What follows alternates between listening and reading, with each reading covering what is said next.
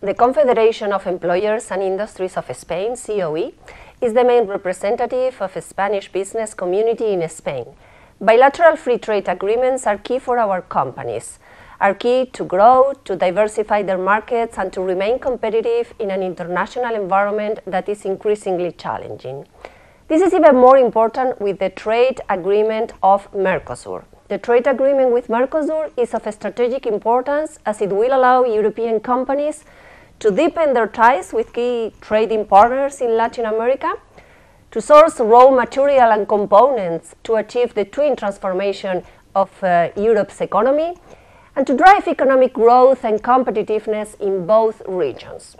Grupo Santander has been serving and advising companies in all industries in Latin America for decades.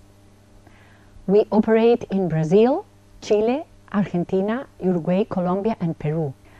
Trade agreements with Chile, Mexico, and Mercosur cover multiple activities, services, and horizontal policies.